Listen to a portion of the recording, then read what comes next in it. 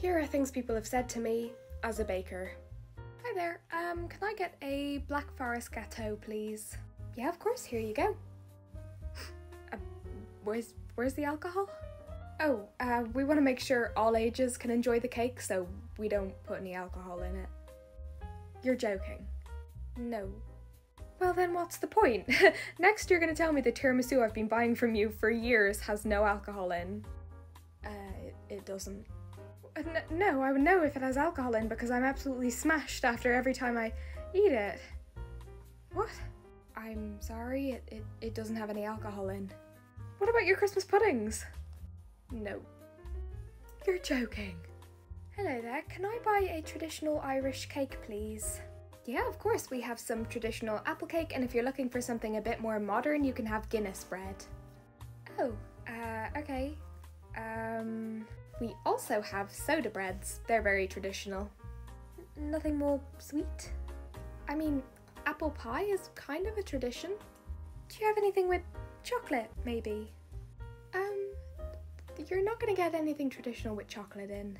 I mean, is there any Irish baked good without bread or apple? I think what you're trying to tell me is you've travelled all the way to Ireland and you want to try some authentic foods, but you also just don't like our authentic foods. Is that a bad thing? Not one bit. Here's a chocolate brownie with an Irish flag in it. I'm doing a big order today, Alice, because my wife said I'm only allowed cake on special occasions, and boy, is it a special occasion. Oh, happy birthday! It's not my birthday. Oh, sorry. Um, what's the special occasion? My cat passed away.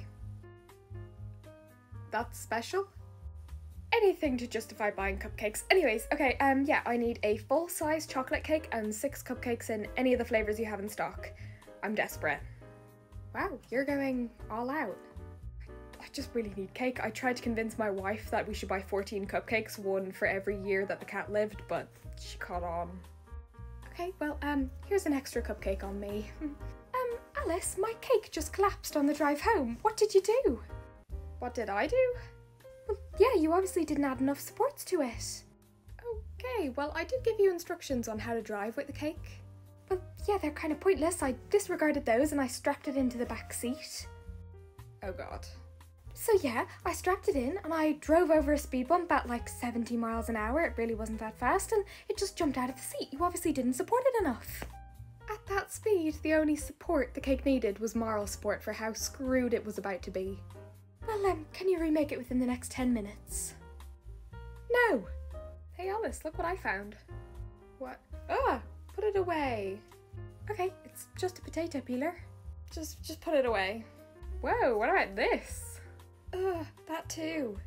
Is this a pastry brush? The smell and the mold that grows in one of those, just put it away. What about this?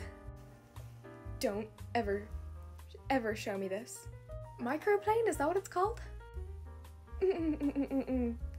or this? My fingers.